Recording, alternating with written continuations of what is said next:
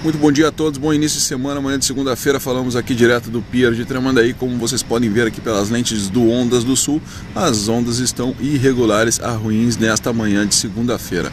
A ondulação ainda segue de leste com influência de sudeste. O tamanho das ondas quebra com meio, com algumas séries maiores. Elas fecham bastante ali no inside. O tempo é nublado, temperatura da água em 12 graus e no momento a corrente é fraca de norte. Maiores informações, janela de frente para o mar, ondasdosul.com.br.